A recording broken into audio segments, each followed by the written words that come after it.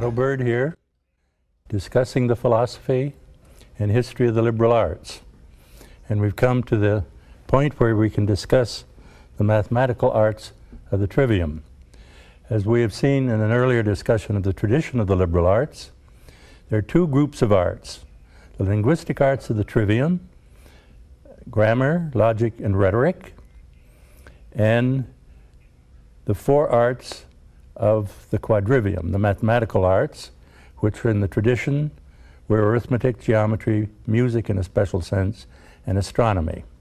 Now we've seen what reason there is after making an analysis of the sign to identify the three arts of the trivium with three arts necessary for using the linguistic sign.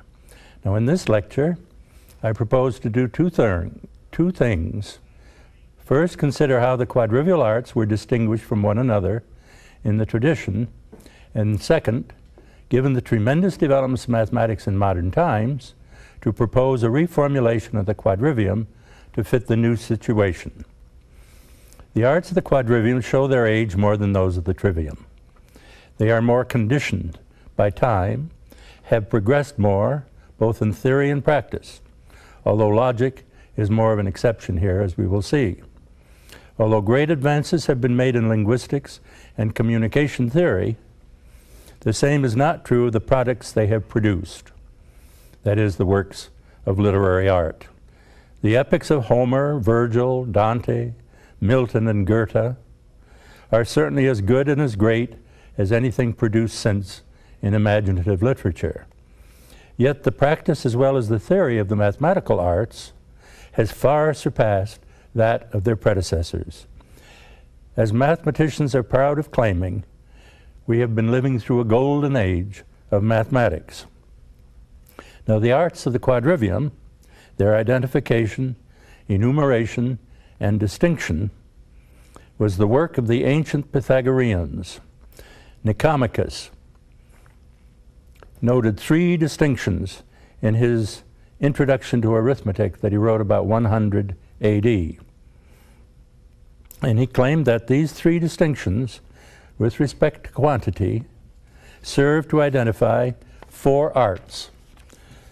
The first distinction is that which distinguishes the, the discrete from the continuous. The natural or positive whole numbers are discrete, one, two, three, etc. They consist of many separate and distinct individuals. On the other hand, a line is continuous, no breaks, no separations. See, it can be cut or divided, but each of the sections so cut constitutes a whole without parts. This distinction between the discrete and the continuous marks the difference between multitude and magnitude. Each of these, uh, multitude and magnitude, can be considered in two distinct ways. Number as discrete can be considered either as it, as it is in itself or as it is related to other numbers. The study of number in itself, that is, of the whole numbers, 1, 2, 3, etc., gives rise to the art of arithmetic. Consideration of numbers in relation to one another as double, half, one-fifth, etc., yields the mathematical art that was known as music in the ancient world. The name music rests on the discovery of the Pythagoreans that musical intervals depend on the relation of whole numbers. Thus, if lengths of wire or tubes of the same substance and tension were vibrated, the harmonic octave will sound when the wire lengths are as two to one. The fifth as in 1 to 2, the fourth as 4 to 2. Hence, the ancient art of music was a study of ratios of numbers and could apply to the music of words, that is, to prosody, as well as to that of musical instruments, as it was by St. Augustine in his treatise De Musica on music. Spatial magnitude can likewise be studied in either of two ways as it is in itself while at rest, which gives us the art of geometry, or, ma or magnitudes may be considered as in motion, as moving circles, for example, and then we have the art of astronomy. These arts have all obtained their great books. In fact, one of the most famous books of all time is The Elements of Euclid, since it provided the basic introduction to the study of mathematics, really down to the 20th century, the study, the basic for the study of elementary mathematics. Of the 13 books of Euclid's Elements, three of them, books 7, 8, and 9, concern the arithmetic of whole numbers. The rest of the books deal with plane and solid geometry. In other words, his elements includes arithmetic as well as geometry. It is significant that Euclid represents whole numbers by length of line. The introduction to arithmetic of Nicomachus, which also achieved the status of a great book, represents numbers graphically by plane figures. Uh, the square of 2, for example, appears as a square with four elements. Music or harmony failed to inspire a book on its art, the equal, at least in fame, to that of the other arts. The astronomy of the great books was provided by Ptolemy in his uh, work entitled The Mathematical Composition, which later came to be known by its Arabic title, Almagest, which means the greatest. In that too, down to the time of Kepler and, and even after, was the basic book for the study of astronomy. The quadrivium possesses no account of the battle among its arts corresponding to that which we found among the arts of the trivium. Yet, in effect, such a battle occurred, and a much more grievous one, in that it resulted in the, in the destruction of the old arts, at least in their old form, and led to logic deserting its former colleagues, leaving the trivium to join the quadrivium. This story can be told briefly by considering the following incidents. In arithmetic, the introduction of the Arabic notation for numbers, including zero. In geometry, the invention of analytical geometry, and then of non-Euclidean geometries. In astronomy, the heliocentric theory of our planetary system, replacing that geocentric system of Ptolemy, and then in mathematics, the invention of the calculus, and in logic, the mathematization of logic in our own time. As a result of these developments, the quadrivium, the ancient quadrivium, has been destroyed. These incidents occur in the story of the arithmetization of mathematics and the overthrow of geometry as the first of the mathematical arts. That this has been a recent development is evident from the fact that Descartes presented his great discovery of analytical geometry as a work in geometry and entitled it so. See, Newton published his principles of natural philosophy in the axiomatized form of geometry, although he performed his calculations by the calculus that he had invented. The first essential step in arithmetization came with the invention of zero and the adoption of the Arabic notation for numbers that we still use, one, two, three, four, and like. The Greek and Roman practice of using letters to represent numbers was highly cumbersome and made calculation difficult without the help of mechanical aid. Just the expression of very large numbers, for example, was extremely difficult, shown by a little treatise written by the great physicist and mathematician Archimedes, entitled The Sand Reckoner. In this little treatise, he claims to discover the number of all the grains of the sand in the world. It is not only the problem that seems incredible, but the fact that he can express it in his cumbersome notation. So he's as proud of being able to express a very, very large number, you see, as much as making the claim that he can count all the sand, grains of sand in the world.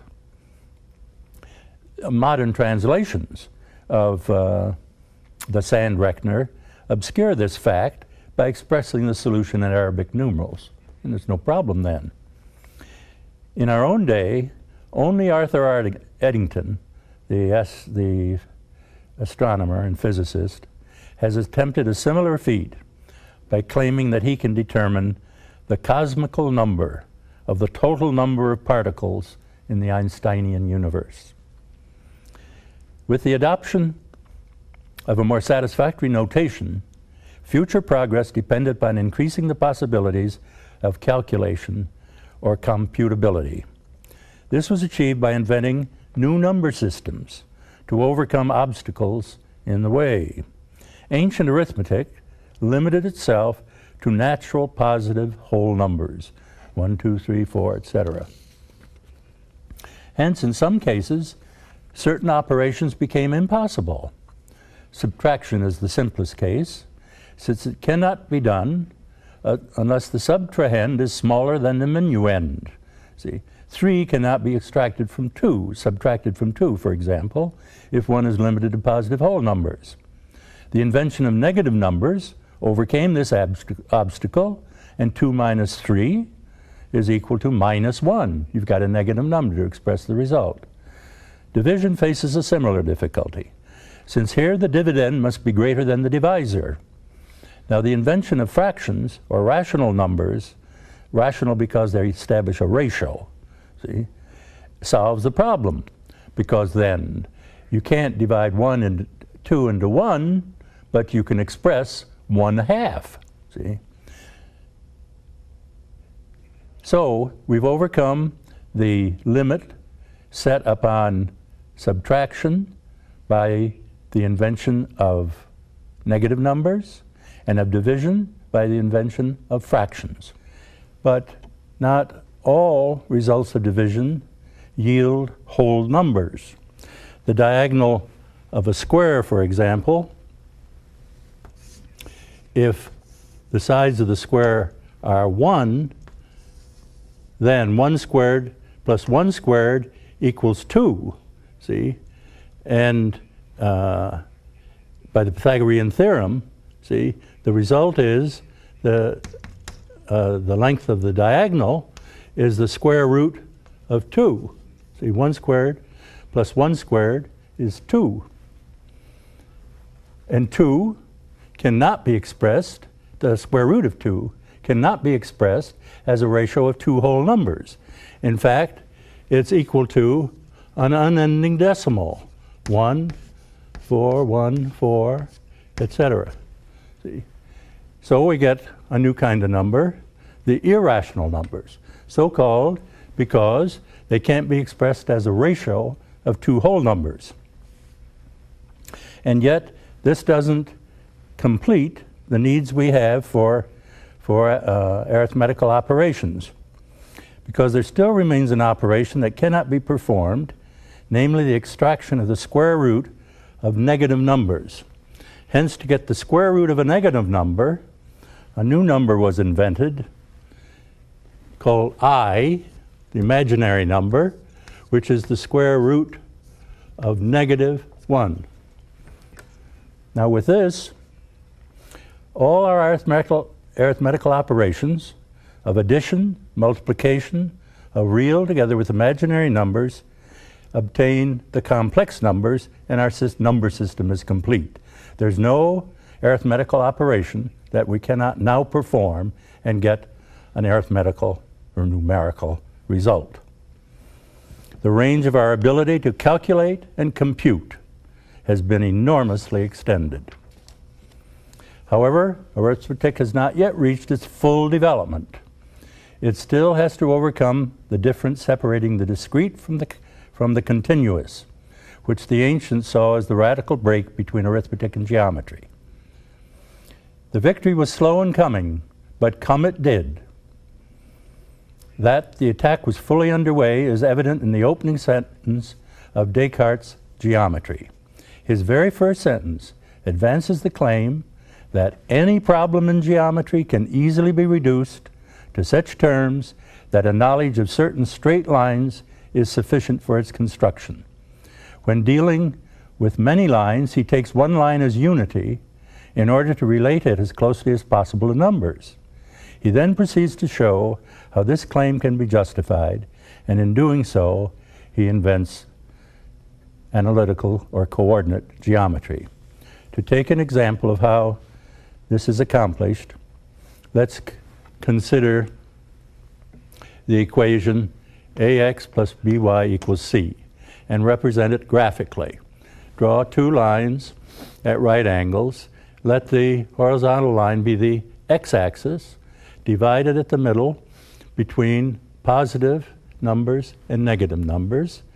The y-axis be the vertical one, divided at the middle above into plus y's and below to minus y's.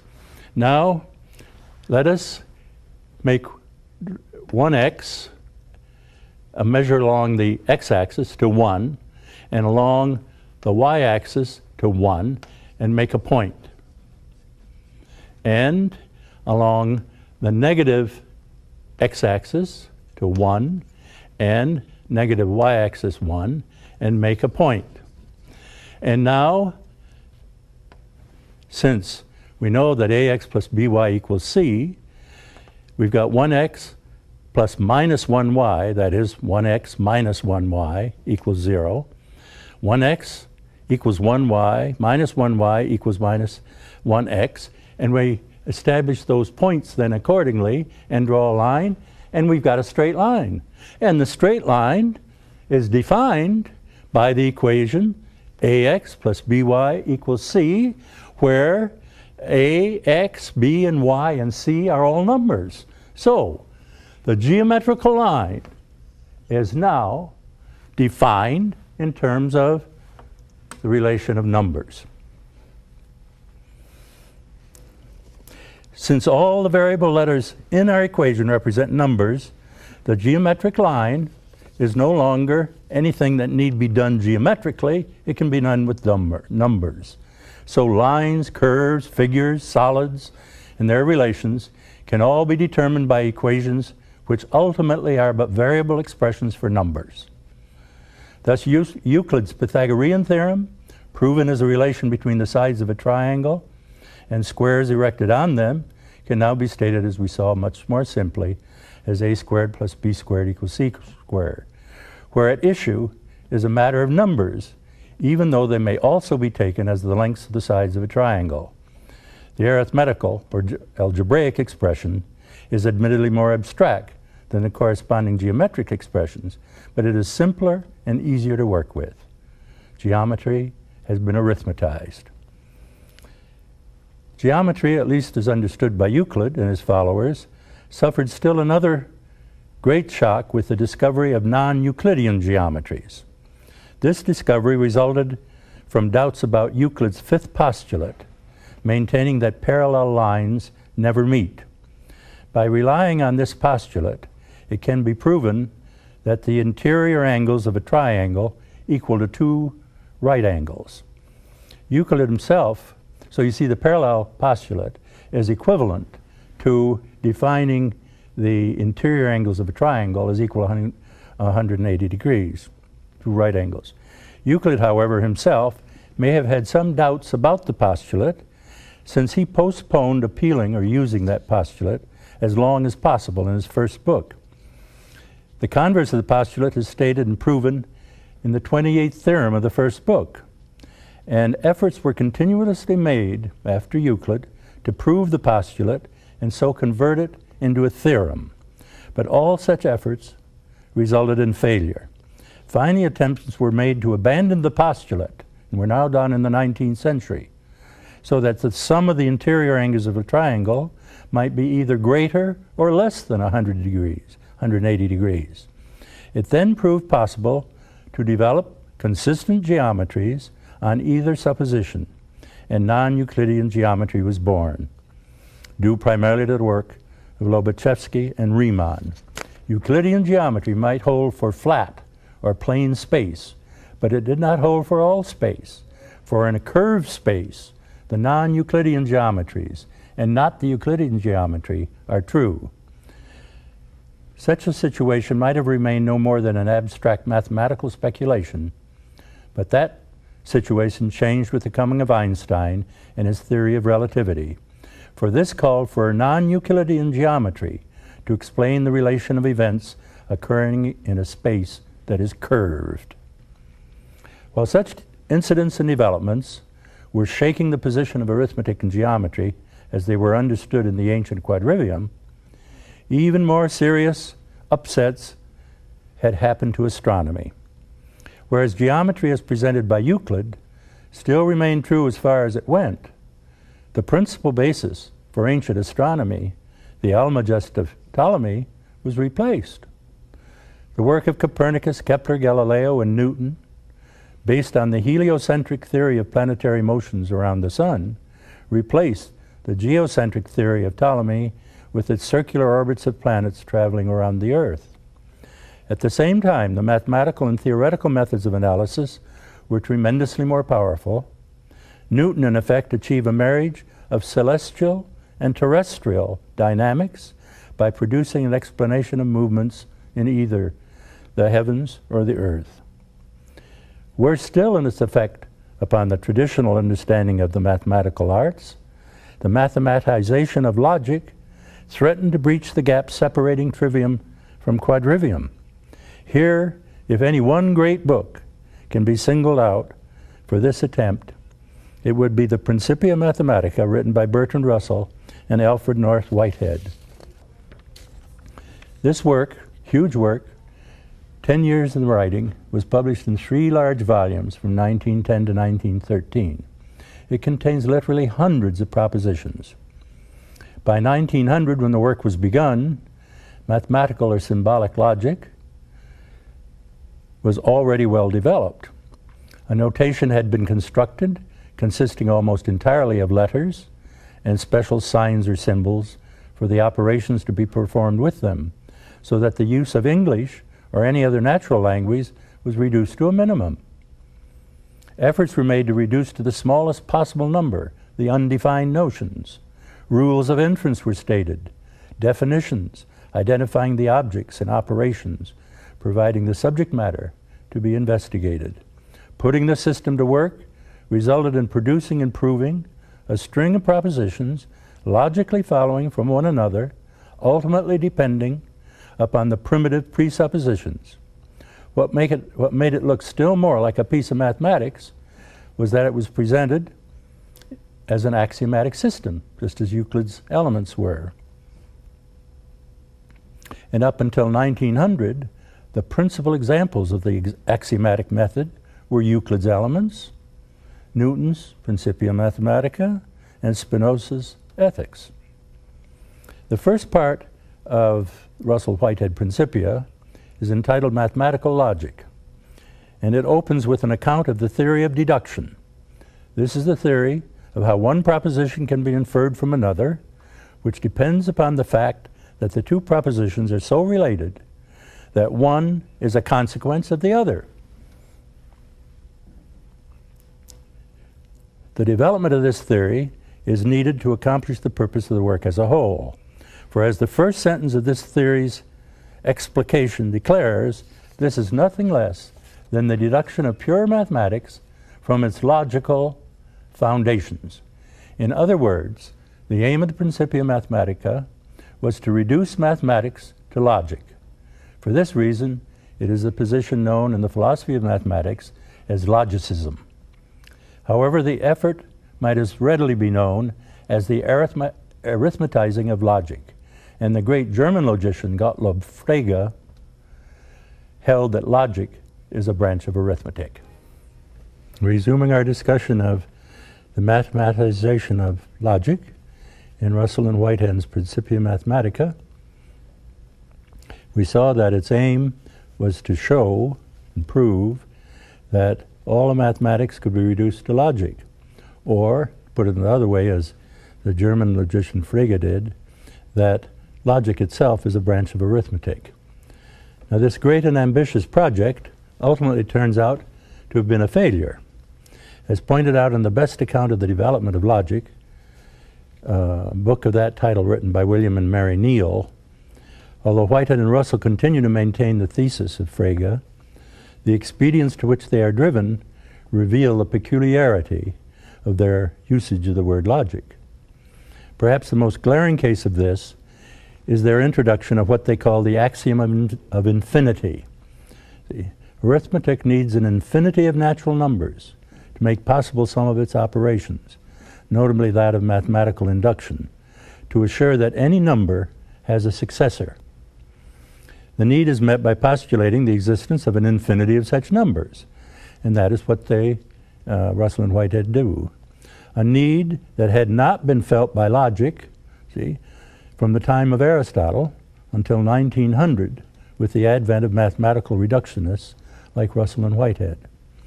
Hence, as Kneale claims, it is better to retain the old understanding of logic as the study of the pr principles that assure the validity of inference, and that its laws are those of the laws of the other sciences.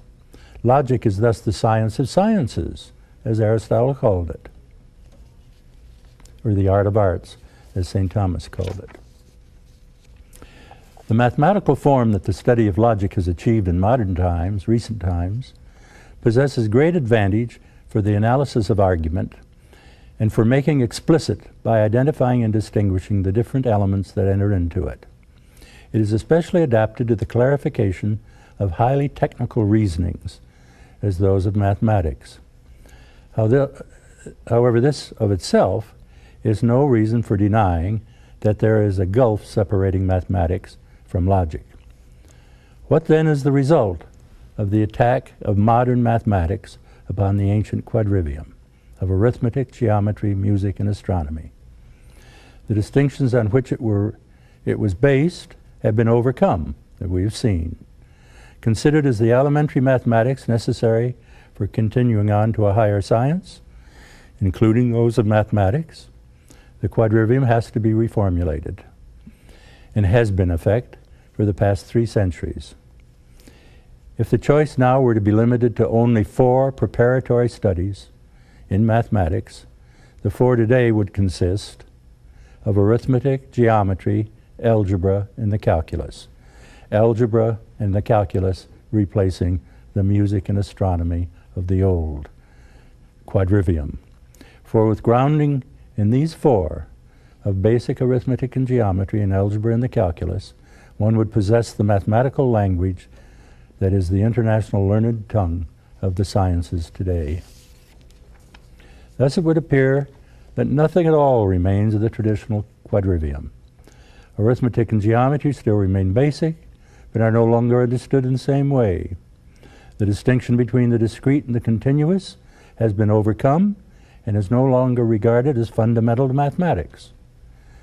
And yet, the distinction between the discrete and the continuous has not disappeared entirely. It is turned up in the quantum theory of the atom. As the name indicates, energy is the basic building block of the physical world, and energy itself has to be conceived as occurring in quanta, that's in discrete amounts. See, the discrete is here.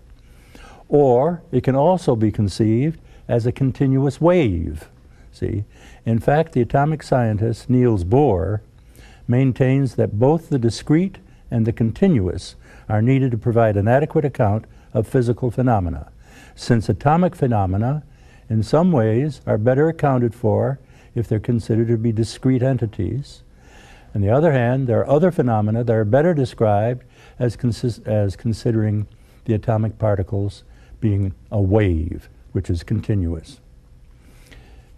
Mathematics, since the time of its development by the ancient Greeks, has always been prized for the power and beauty of its reasoning, and indeed for its ability to form and train the faculty of reasoning itself. Uh, as long as Euclid was uh, studied as the basic introductory work to mathematics, Euclid's geometry provided the basic training for the logic of argument it provided the basic understanding of what a proof is and the means of constructing and establishing a proof. In fact, it's no exaggeration to claim that mathematics has provided the clearest and most explicit instance of reason, of reason itself at work, of reason reasoning, in its development of the axiomatic method. And the earliest and most extensive use of this method is to be found in the 13 books of Euclid's Elements. Euclid, uh, and so I want to consider for a while the axiomatic method, how it's constructed and what its value is. Now, Euclid himself was not the inventor of the method. Plato, in uh, his dialogue, The Republic, gave an outline of it in his analysis of the kinds of knowledge. Aristotle not only made an extensive analysis of the axiomatic method, he also was the first to actually use it. He presented his theory of the syllogism in logic in axiomatic form by showing how all the valid moods of the syllogism can be derived from a few taken as primary or axiomatic. His analysis of the method in the posterior analytics, his theory of methodology, is a good introduction to the discussion of Euclid's use of it. Both Aristotle and Euclid were members of Plato's Academy, but Euclid was younger by perhaps a generation, since Euclid flourished about 300 BC, whereas Aristotle died in 322. Hence, there is a possibility that Euclid may have known about Aristotle's theory of the axiomatic method. Now, according to the account given in the Posterior Analytics by Aristotle, every demonstrative science is concerned with three things the subject matter, or that with which the science is concerned, the things proven about it, its attributes, and that from which the demonstration begins. The last, that from which the demonstration begins, are indemonstrable principles, or starting points. Indemonstrable, since not everything can be proven, nor need be proven. Now they, these indemonstrables, are of two kinds. Some are common to many sciences, an example of which is the axiom that if equals are taken from equals, equals remain. Others are special or peculiar to a given science, and of these Aristotle distinguishes three again. There's the subject matter, of which both the meaning and existence is assumed, such as points and lines in geometry. Secondly, the attributes of the, of the subject, of which only the meaning is assumed, whereas their existence is demonstrated by means of the axioms and previously established conclusions taken as premises. And third, postulates, the existence of which is assumed, and from which something can be assumed regarding the subject. Now, when we turn to Euclid's first book of the Elements, dealing with plane geometry, we find much of what Aristotle had taught us to expect but much more fully developed, since we are now embarked upon the course of a demonstrative science. The book begins by distinguishing three different kinds of principles, starting points, definitions, postulates, and common notions, the last of which correspond to what Aristotle called axioms, as seen from the fact that Euclid's third uh, theorem is the same as the example, uh, the third common notion is the same as the example cited by Aristotle. Equals taken where equals are equal. The three different principles also clearly differ with regard to their relations to meaning and existence. That the definitions are intended to establish meaning only is evident once definition 4 is compared with postulate 1. Postulate 1 declares that a straight line can be drawn from any point to any point. Whereas the definition says only that a straight line is a line that lies evenly with the points on itself. Now, this definition may not seem very illuminating. It may be appealing to our visual experience of sighting along an even row of objects, for example. If so, the postulate would also imply that only one straight line can join two points. At any rate, the appeal to sense experience can at, can at most only serve as a crutch to help us grasp the meaning of the definition, since a line is defined as a breadthless length, a length with no breadth. A length, is, uh, geometrical line, is not a thing that can be observed by sight. Still, a different relation between meaning and existence appears in definition 20 of an equilateral triangle, as compared, for example, with the proof of its construction that an equilateral triangle can be constructed.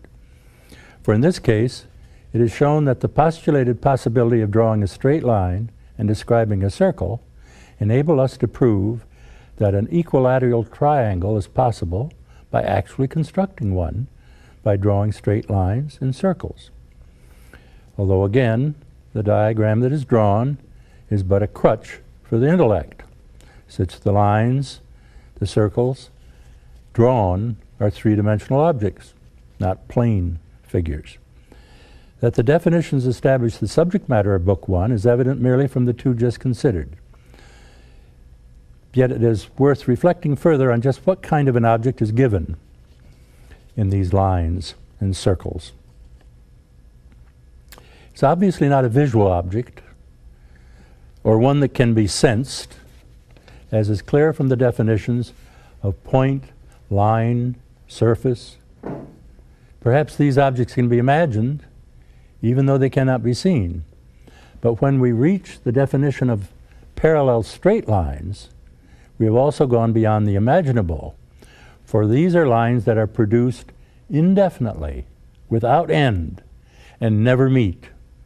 In short, the subject matter of geometry is and mathematics in general is conceptual and not either sensible or imaginary, since the lines, the circles, the figures with which it deals are two-dimensional, and the things we experience are all three-dimensional.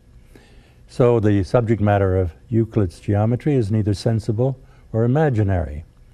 Yet it is by means of and with the help of words and diagrams, which are things that can be sensed, that we can think about and discover the properties of these purely conceptual objects. It is also clear that Euclid is beginning from what is logically or conceptually prior and moving from there to the later and more complex, since a point or a line, as he defines them, is certainly not the sort of thing that we first encounter. Indeed, among objects of sense experience closest to his geometrical ones, the ones that he treats last are those which we have the most immediate experience, namely solids of three dimensions, which Euclid considers in the last three of his 13 books. The postulates are, if anything, even more important than the definitions for establishing the objects of geometry. For it is there, in those postulates, that so constitute their existence that properties that are attributes about them can be inferred or deduced. In effect, Euclid's postulates establish a, unite, a unique kind of space. The first three postulates, concerning the straight line and circle, lay down the only kind of lines to be dealt with. And in postulating that they can be of any magnitude, they imply that his space is continuous and not discrete. For if it is possible to describe a circle of any size. It can be indefinitely small and so leave no room for any gaps in it. However, of the five postulates that Euclid has, it is the fourth and the fifth that make Euclid's geometry uniquely Euclidean. Postulate 4 asserts that the right angle is a determinate magnitude, and so can serve as a standard or criterion by which to measure other angles, either as less, that is an acute angle, or greater, that is an obtuse angle. And since all right angles are equal, it in effect says that the space in which they exist is homogeneous, or all of the same kind, and accordingly makes it possible to test figures by coincidence or application of placing one upon another. And thus, underlies the fourth axiom that things which coincide with one another are equal. The fourth postulate is also necessary for the statement of the great fifth postulate. The uniquely Euclidean postulate. The parallel postulate it is. It has been written about it that this postulate must ever be regarded as among the most epoch-making achievements in the domain of geometry. Now to appreciate this claim, we must see how it is used and why it is necessary. But for that, we must first understand what it says. Parallel lines have been defined in definition 23 as straight lines which never meet, however far they are extended. The postulate now provides a criterion by which to determine when two straight lines are not parallel, but will intersect if extended sufficiently far enough. The test consists in letting a single straight line fall across the two lines that are uh, suspected of being parallel. Let a straight line fall across the two parallel lines and then determine whether the interior angles, see, within these two lines, see, is less than two right angles. For if the interior angles falling uh, within the two angles is less than two angles, the lines so the lines are postulated to meet if they are produced far enough on the side on which the two angles are less than two right angles. So if drawing this line across two lines being tested for being parallel, the interior angles between those two in this line crossing it are less than two right angles, then those two lines are going to meet if indefinitely extended, and so they're not parallel. So there's a test for parallelism, you see, which is provided in this fifth postulate. Now, readers of Euclid from a very early date took exception to this postulate about parallels from the belief that it should be proven rather than assumed. They had at least two reasons for this belief. One, that Euclid himself proves the converse of the problem, the other side of it, the reverse of it, in Proposition 128, namely that if a transverse line crosses two lines so as to make the interior angles equal to two right angles, the two lines are parallel. It is by no means necessary that if lines converge, they must ultimately meet, for there are lines that continually get ever closer without ever meeting, so-called asymptotes.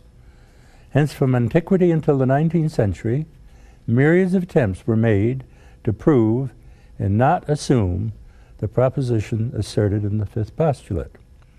However, in the 19th century, it was then definitely proven that it could not be demonstrated using Euclid's methods, and his genius came to be better appreciated for having recognized that it had to be assumed as a postulate for his geometry.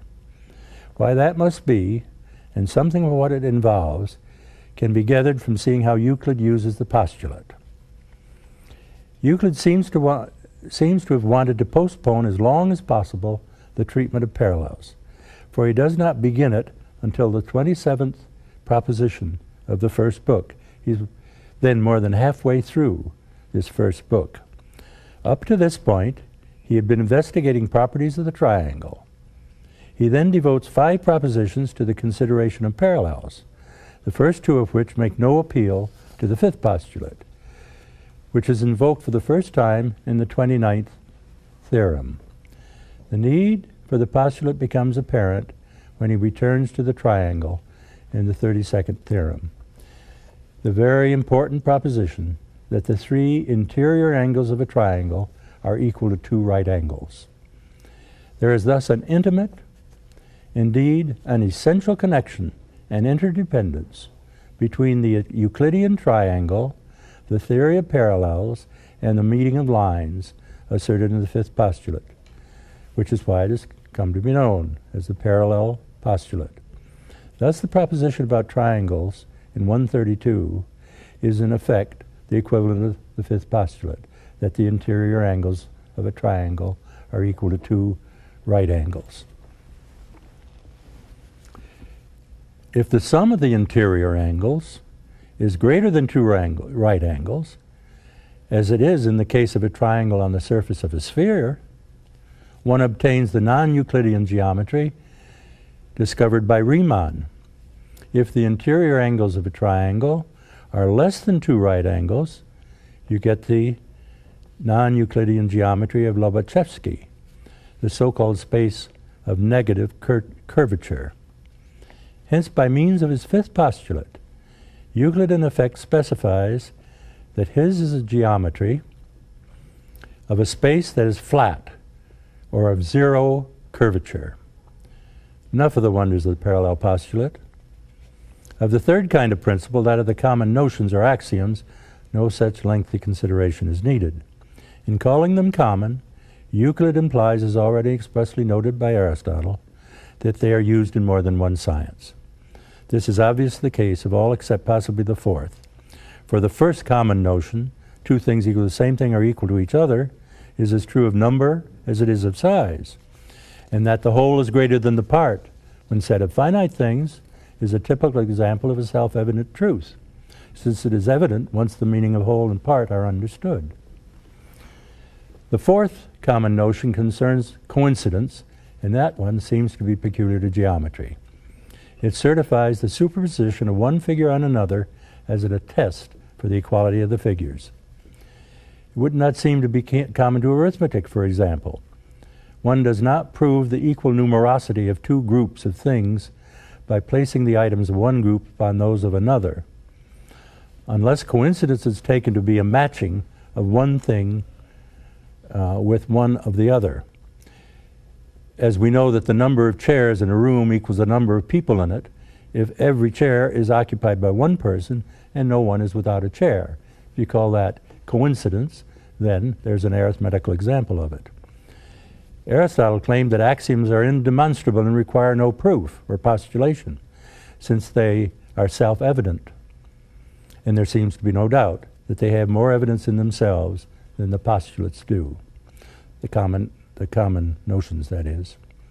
Sometimes objected that Euclid fails to state explicitly in this preliminary matter all the principles that he uses when he comes to prove his propositions. Geometers have frequently added to the number of postulates and axioms, which accounts incidentally for the differing numbers found in different editions of Euclid. But Euclid, of course, may not himself have been aware of such a lack and assume principles with not, without knowing it.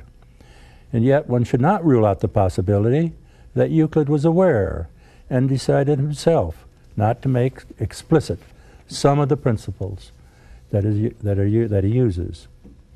Aristotle noted, as we've seen, that there's no need to make everything explicit that is obvious and well known. Hence it is the postulates that are special and peculiar to geometry, the axioms being common to many sciences. Why, it might be asked, should Euclid be said to be using an axiomatic rather than a postulation, postulational method? Wouldn't it be more accurate to use the latter name? Euclid might agree, but for many modern mathematicians, logicians, and philosophers, axioms are no less postulational than the postulates. In denying that there are any self-evident axioms, these people are denying that there are any axioms in the old sense as principles distinct from postulates, with the result that the two words have come to be used interchangeably. In any case, an axiomatic system is one that begins from certain indemonstrable principles from which certain other propositions can be deduced as conclusions. And that, and that certainly describes what Euclid does. For although, although books after this first one will require still further definitions in the case of Euclid's Elements, the postulates and axioms given here apply to all the 13 books. With this, we have concluded our discussion of the destruction and reformulation of the trivium. Thank you.